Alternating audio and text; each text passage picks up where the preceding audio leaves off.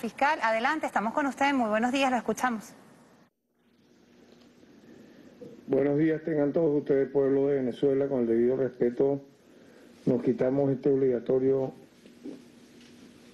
tapabocas para en esta semana aniversaria del Ministerio Público, donde, como se sabe, siempre hemos tenido a bien celebrarlo trabajando, dando resultados de una gestión que ha sido muy cercana a la gente, a las comunidades, a nuestro pueblo, siempre colocando en alto nuestra consigna de defender la justicia y los derechos humanos como pilar fundamental de nuestra gestión, recordando que el 26 de septiembre se celebra el, 26 de noviembre, se celebra el 52 aniversario del, del Día del Ministerio Público a nivel no solo nacional, es una fecha que se ha usado a nivel incluso eh, fuera de nuestra frontera. Y esta semana la dedicamos entonces a hacer varias actividades, entre ellas, obviamente, hacer eh, pública estas cifras importantes de gestión, de trabajo, de labor, en todos los frentes. La lucha contra la delincuencia organizada, la lucha en pro de los derechos humanos, la lucha contra los delitos comunes, la lucha contra el tráfico de drogas, la lucha contra la corrupción y obviamente siempre la defensa de la mujer, los niños, niñas, adolescentes, los sectores vulnerables, la fauna, el medio ambiente.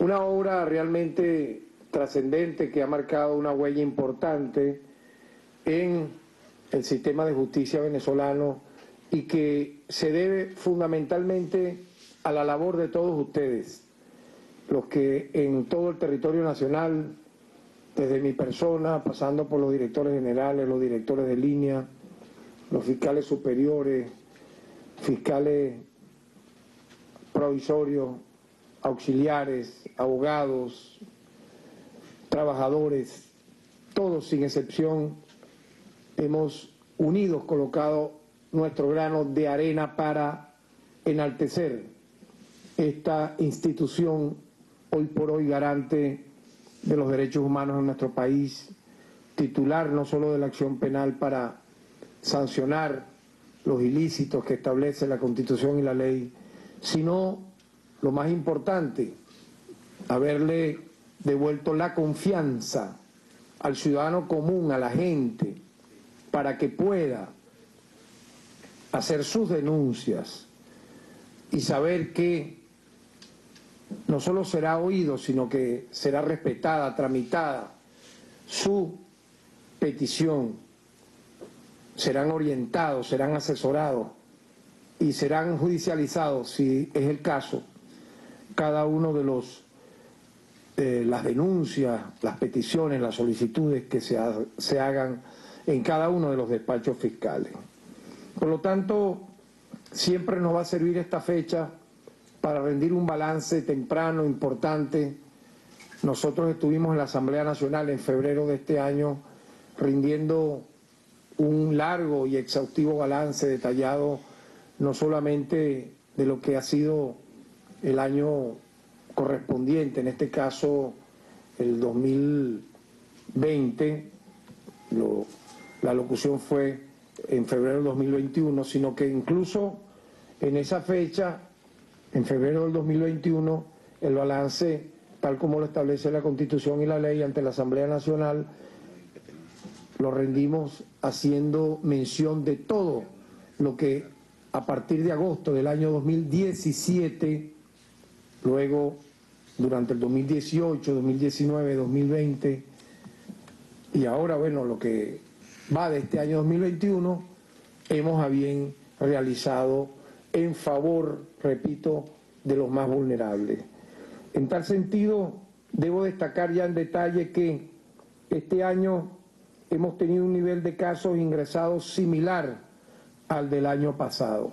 Recordemos que hemos vivido durante el año 2020 y el año 2021 una muy dura circunstancia, no solo en Venezuela, sino en el mundo, por la pandemia del COVID-19. En medio de lo, que significó las estrictas jornadas de cuarentenas, etcétera, este Ministerio Público nunca dejó de trabajar. Y nosotros todos no dejamos de atender día a día, a pesar de la cuarentena, haciendo en su debido momento las guardias respectivas. Todas las puertas del Ministerio Público a escala nacional estuvieron abiertas para atender los casos, como sigue, obviamente, transcurriendo durante esta fecha correspondiente a noviembre del año 2021. En tal sentido, quiero destacar que durante lo que va de este año 2021 han ingresado 223.133 causas y han egresado 210.963. Se presentaron 179.787 actos conclusivos. Esto es una cifra sumamente importante reveladora porque implica, obviamente, la definición y la finalización de hechos que en el terreno hemos ido procesando. Entre ellos se destacan 83.981 imputaciones realizadas y 42.827 acusaciones. En total, en lo que va de este año 2021, el Ministerio Público ha realizado 411.914 actuaciones. Esto es muy importante, esta cifra, ¿verdad? Muy reveladora. 411.914 actuaciones implica diligencias, acciones prácticas hechas en favor de cada uno de los usuarios, miembros de nuestra comunidad que han tenido a bien venir al Ministerio Público. Sería bueno y, es importante detallar algunas cifras reveladoras por dirección. Por ejemplo, en defensa de la mujer, recordemos que el día de mañana es el Día Internacional de la Eliminación de la Violencia contra la Mujer. En este sentido, quiero destacar que en el mes de septiembre inauguramos la nueva sede del Servicio de Abordaje Integral de Víctimas, a víctimas de delitos de violencia de género en el edificio Iberia, ubicado en la avenida Urdaneta de Caracas. También quiero destacar que se establecieron guardias de los fiscales en las distintas maternidades y hospitales del área metropolitana de Caracas, con la finalidad de resguardar la salud e integridad de las adolescentes y mujeres que van a dar a luz. Además, se ha estado realizando un ciclo de talleres y conversatorios denominado Es hora de denunciar, dictado por fiscales con competencia en materia para la defensa de la mujer. Y esto es el resultado que voy a detallar, se han beneficiado a un total de 67.810 funcionarios adscritos a los órganos auxiliares del sistema de justicia penal y órganos receptores de la denuncia con este ciclo de talleres de formación en esta materia.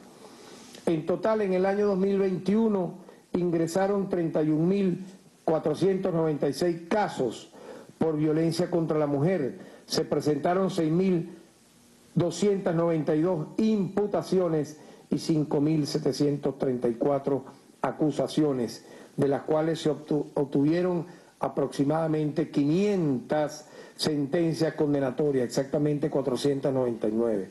En este periodo se han otorgado igualmente 39.810 medidas de protección, como ustedes saben, es para salvaguardar la integridad física de las mujeres venezolanas.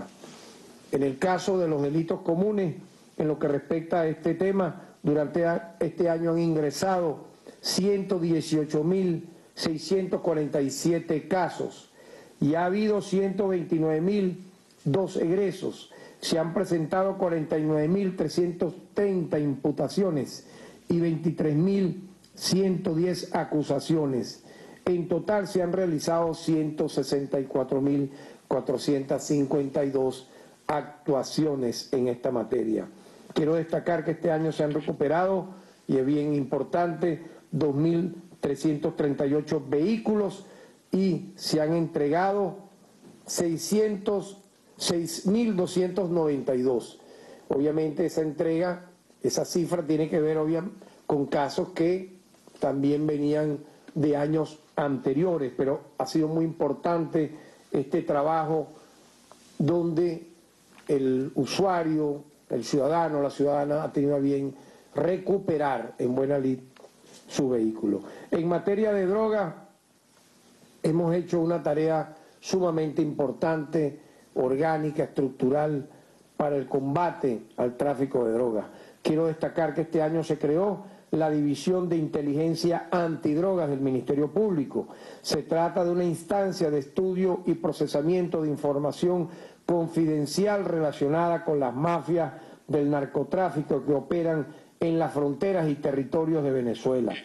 Esta división procesará toda información relevante las 24 horas del día en materia de narcotráfico. Con respecto a las cifras, en lo que va de año se han incautado 4.1 toneladas de marihuana, 29 toneladas de cocaína y 900 kilos de otras drogas, para un total de 34 toneladas incautadas en un combate férreo sin cuartel contra estas mafias. Durante este año se han presentado en esta materia 10.828 imputaciones, 5.249 acusaciones y se obtuvieron 2.488 sentencias condenatorias. En materia de derechos humanos, una materia obviamente siempre para nosotros fundamental, ha sido nuestra bandera desde nuestros primeros años de lucha estudiantil en los años 70 del siglo pasado y para toda Venezuela, en base a lo que establece nuestra constitución del año 99, es una materia de principal atención. Y en tal motivo este año hemos creado la oficina de atención a las víctimas en materia de derechos humanos que adquirió rango legal en la reforma de ley de protección de víctimas, testigos y demás sujetos procesales realizadas recientemente. Esta oficina inició sus actividades operativas el 2 de junio, se encuentra conformada por un equipo multidisciplinario que incluye, además de abogados, a una trabajadora social, a un psicólogo y una psiquiatra. Desde el inicio de sus actividades, la oficina ha atendido a 762 ciudadanos, de los cuales 379 denunciaron presuntas violaciones a los derechos humanos y 383 recibieron orientaciones jurídicas y remisiones a otros entes. Con esta oficina garantizamos que aquellas personas que necesiten denunciar una presunta violación de sus derechos humanos reciban una atención completa que incluye, además de la recepción y tramitación de la denuncia, apoyo jurídico, atención psicosocial y, de ser necesario, el otorgamiento de medidas de protección. Durante el año 2021 igualmente se logró la imputación de 146 funcionarios de seguridad del Estado por presuntas vulneraciones a los derechos humanos. Asimismo, fueron privados de libertad un total de 74 funcionarios de distintos organismos que participaron de manera lamentable en violaciones a derechos humanos. Por otro lado, este mismo año 2021 han sido acusados un total de 207 funcionarios y se ha logrado una cifra récord este año de 83 condenados. Estoy hablando solamente del año 2021. Igualmente, un tema importante para nuestra gestión ha sido el combate contra la corrupción. Nuestro esfuerzo por combatir la corrupción administrativa en todos los ámbitos ha continuado y fue una línea de acción principalísima entrando nosotros a este Ministerio Público en agosto del año 2017. En lo que va de año por delitos de corrupción se han realizado 1.647 imputaciones, 895 acusaciones, obteniéndose 448 sentencias condenatorias y un total de en este caso 681 personas individualizadas como tal, condenadas. También internamente hemos continuado con la depuración del Ministerio Público de funcionarios que intentan manchar, enlodar el nombre de esta noble y prestigiosa institución al servicio del pueblo de Venezuela. En tal sentido, hasta esta fecha hemos procesado a 277 fiscales por actuaciones irregulares y delitos de corrupción. Hemos querido dar el ejemplo desde adentro, haciendo este tipo de actividad que lamentablemente, por lo que hemos visto, eh, no tiene un, un, fin último, es decir, no, no podemos decir que comenzó en agosto del 2017 y ya culminó. Lamentablemente, en tiempo real, quien se desvíe de sus funciones dentro de este Ministerio Público será sancionado y ejemplarmente presentado ante los órganos correspondientes. Quiero destacar también que este año entregamos más de 3 millones de insumos médicos incautados a los hospitales militares de Caracas por un valor superior a 1.800.000 dólares. Es bueno siempre recordar esto, el tema de la salud. Empresas que lamentablemente desvían su función fundamental, que es la de atender en estos términos a, la, a las personas vulnerables que pudieran tener cualquier eh, afección en su salud y en vez de hacerle ese servicio público, empresas que han recibido dinero del Estado, divisas, etcétera, desviaron su actuación y en tal sentido, aparte de la judicialización, aparte de la imputación, aparte de la acusación respectiva a quienes han cometido estos ilícitos, este Ministerio Público ha procedido a incautar, ¿verdad?, esos bienes producto de la corrupción y lo hemos donado a los hospitales militares del área metropolitana de Caracas que, como se sabe, atienden al pueblo, a la comunidad, a la gente. Y ya, obviamente, para terminar, debo siempre destacar este combate eh, tan delicado, tan sensible, que el Ministerio Público ha venido realizando en la defensa de los derechos humanos, de la justicia, en medio de un asedio, en medio de una acechanza, en medio de una presión, de un acoso de carácter global que ha buscado desviar la atención de la paz pública, de la estabilidad nacional, para, por vías de la violencia armada, por vías de incursiones mercenarias, por la vía de golpes de Estado, por intentos de magnicidio, fomentar un baño de sangre en el país. ¿Para qué finalmente? ¿Qué creen ustedes para qué sea? Para apoderarse de todas las riquezas naturales de nuestra nación, del petróleo, del oro, del hierro, de nuestros campos, de nuestros sembradíos, para que Venezuela vuelva a retroceder y ser, como lo fue durante las décadas del siglo pasado, una colonia anexada de facto a los Estados Unidos de América.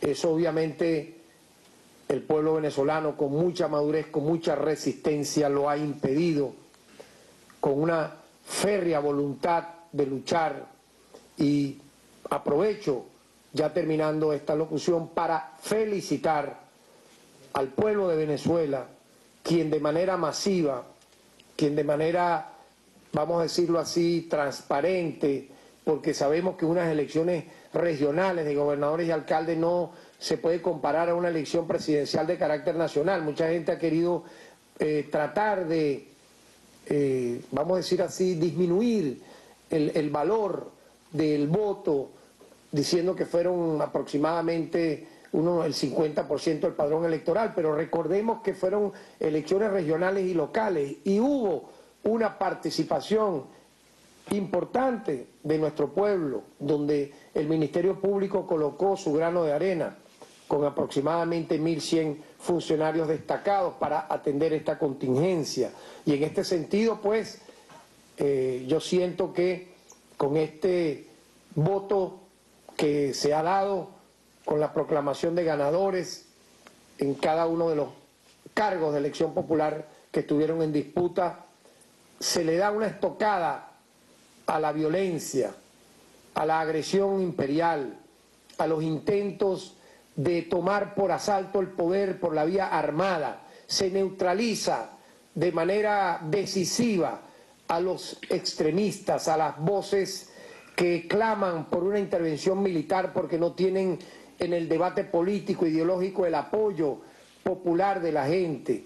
Gente que, o actores políticos que usaron eh, medios globales, digitales, para hacer una propaganda terrible contra nuestra nación y buscar la ruina económica para, como lo dijo de manera necrofílica un ex embajador estadounidense en Venezuela y también en Colombia, de apellido Brownfield, él dijo que la lucha era implosionar y en medio del sufrimiento socavar, socavar la paz nacional para provocar un derrocamiento del gobierno legítimamente constituido. O sea, todo eso el pueblo de Venezuela lo superó y dio un paso al frente, adelante, el pasado domingo 21 de noviembre, para, en medio del ejercicio del derecho humano al voto, darle a Venezuela un chance a la paz, como diría el genio John Lennon en su canción histórica. Ese chance a la paz tiene que perdurar. Yo invito a al debate de las ideas, de los proyectos, qué es lo que está en juego para el país, la defensa de la soberanía nacional, la defensa de una economía estable, productiva, donde puedan intervenir factores tanto nacionales como internacionales para generar no solamente empleo, sino también para producir bienes necesarios para nuestro pueblo.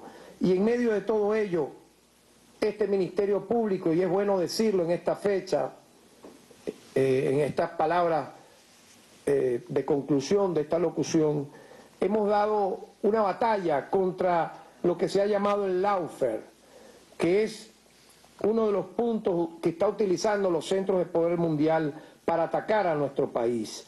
A veces es bueno porque se, lanza la consigna o se, se lanza el concepto muy mm, de manera genérica, pero yo creo que es importante que el pueblo pedagógicamente lo conozca. ¿Qué puede ser un laufer? ¿En qué se conoce? ¿Cómo se conoce? Obviamente, y he querido, hemos investigado muy brevemente para poder entregarles estas, estas palabras, se trata de una expresión inglesa creada con las palabras law, que implica ley, y warfare, que implica ir a la guerra. Imagínense, el uso de la ley para ir a la guerra. Se puede traducir como persecución judicial, guerra jurídica o guerra judicial. Venezuela ha vivido en los últimos tiempos este tipo de agresión y el Ministerio Público ha salido en defensa del pueblo en medio de ello. Se refiere entonces Laufer a la utilización abusiva o ilegal de las instancias judiciales nacionales e internacionales para inhabilitar o provocar repudio popular contra un oponente. Aunque el término nace en el año 1975, comenzó a ser utilizado a principios del siglo XXI en el ámbito de los estudios estratégicos de las Fuerzas Armadas de los Estados Unidos. Se hizo para cuestionar la utilización de las instancias judiciales internacionales para proteger los derechos humanos por parte del mando más débil en una guerra.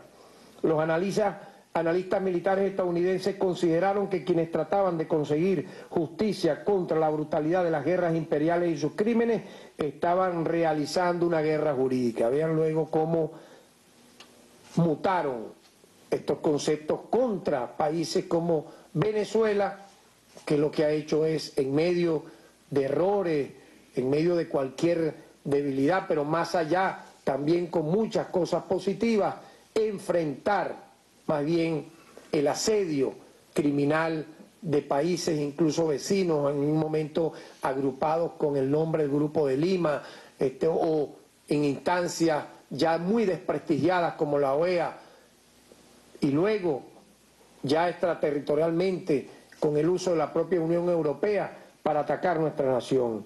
En tal sentido, destaco que a partir de allí se plantearon la necesidad de contraatacar usando el Laufer para alcanzar sus propios objetivos. O sea, lo que al principio para ellos fue un concepto, lo usaron a su favor para atacar, en este caso a países como Venezuela. El analista que popularizó el término en el mundo militar, el general retirado de la Fuerza Aérea de Estados Unidos, Charles Dunlap Jr., dice que el Laufer hoy en día se entiende mejor como el uso de la ley como un medio para conseguir lo que de otra manera tendría que conseguirse con la aplicación de la fuerza militar tradicional. Vean ustedes entonces lo que también le ha tocado a este Ministerio Público enfrentar durante estos años. Una guerra jurídica transnacional conocida como el Laufer. Por ejemplo, y ya para ser más coloquial, las medidas coercitivas unilaterales que aplica Washington son presentadas por este analista con un mecanismo de Laufer, porque debilitan las capacidades de un país para defenderse, caso Venezuela. Esta guerra judicial se relaciona con el fenómeno del golpe blando que hemos visto en Latinoamérica. Una forma de acceso indebido al poder político sin utilizar las fuerzas militares, manipulando las divisiones internas de las sociedades, las redes sociales y los medios de comunicación. El caso más emblemático es el de Lula da Silva en Brasil, que con un juicio amañado fue condenado a prisión para sacarlo del proceso electoral que permitió la elección de un neofascista, de un nuevo, vamos a decir así, eh, hijo de Hitler, un criminal ya públicamente reconocido así, llamado Jair Bolsonaro. Esta patraña judicial le ha costado a Brasil 613 mil muertes por coronavirus, porque Bolsonaro llegó a decir, no una, sino muchas veces, que eso era una gripecilla, un simple resfriado. Algo así como que usted se toma una aspirina y ya. Y vean ustedes entonces que Brasil está entre los principales países, entre los tres primeros países de la Tierra con mayor número de muertos por COVID-19. También mediante un proceso penal amañado sacaron a Rafael Correa de la carrera presidencial de Ecuador. Laufer. Otra modalidad de Laufer se aplicó contra Dilma Rousseff, a quien el Congreso brasileño destituyó de la presidencia por una serie de medidas presupuestarias, obviamente utilizando esto que estamos acá detallando. Y vean ustedes, siempre contra gobiernos de una tendencia progresista, de una tendencia humanista, de una tendencia de izquierda. De igual manera se había hecho antes con Fernando Lugo en Paraguay, a quien el Parlamento destituyó en el año 2012 por un hecho de violencia que fue fraguado para hacerle juicio político. Pero como en Venezuela no existe la modalidad del juicio político, de la destitución del presidente por el Parlamento, ni han contado con el servilismo, que pudiera haber existido en otros países de poderes judiciales eh, al servicio de lacayos internacionales, han buscado otros mecanismos para derrocar al gobierno y acceder al poder, para implosionar al Estado. Y han recurrido entonces a medidas coercitivas, al desprestigio internacional, utilizando sus poderosísimos medios de comunicación y a los pronunciamientos de organismos internacionales que dominan o ellos obviamente a placer como la OEA y algunos de otros expresados, eh, como ya lo expliqué, creados expresamente para agredir a nuestro país como el disuelto y desprestigiado Grupo de Lima. En ese contexto que he eh, brevemente detallado, el Laufer se se ha aplicado contra Venezuela y pudiera yo agregar que se ha usado y debemos analizar la, la decisión adelantada por organismos muchas veces de carácter multilateral que pudieran tener alguna, vamos a decir así, anexión en Naciones Unidas o en otro lugar para avanzar en presuntas investigaciones en contra de nuestro país utilizando como escudo para ello o excusa el tema de los derechos humanos. Por lo tanto, consideramos que el Laufer es un hecho lamentable que se instrumentaliza para usar instancias internacionales y buscar lograr lo que por otras vías, ¿verdad? Por otras vías violentas, militares, golpistas, mercenarias, no han logrado. Así que tenemos que tener mucha atención a esto, mucha atención. Es lo que está en juego y es lo que este Ministerio Público también en su concepción, en su adelanto siempre a lo que pudiera venir, tomando las medidas pertinentes para también combatir en ese terreno en buena lid, con profesionalismo, con documentación, con la verdad en la mano, obviamente vamos también a salir victoriosos en esta gestión porque nos asiste la verdad.